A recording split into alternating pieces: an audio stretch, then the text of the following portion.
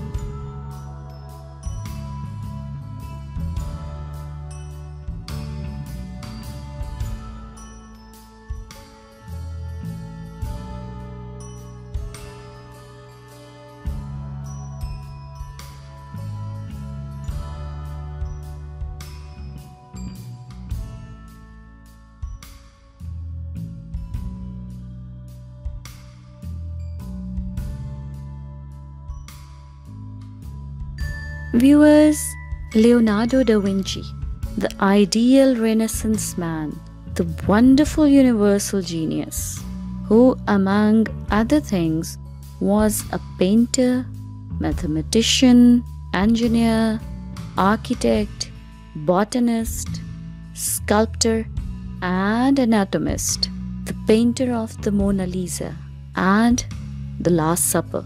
I hope I am able to sketch this master.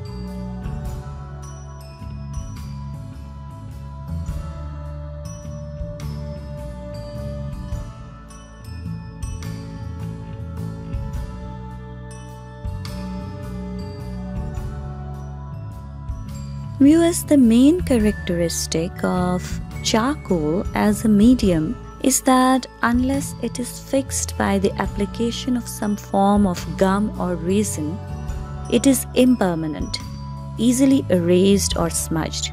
So after the finishing strokes, we use a spray called fixative on charcoal drawing or sketches to preserve the piece.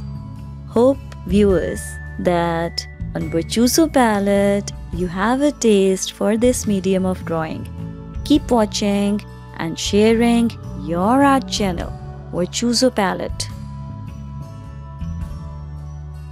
Viewers, I can only make a wish that you enjoyed the new medium.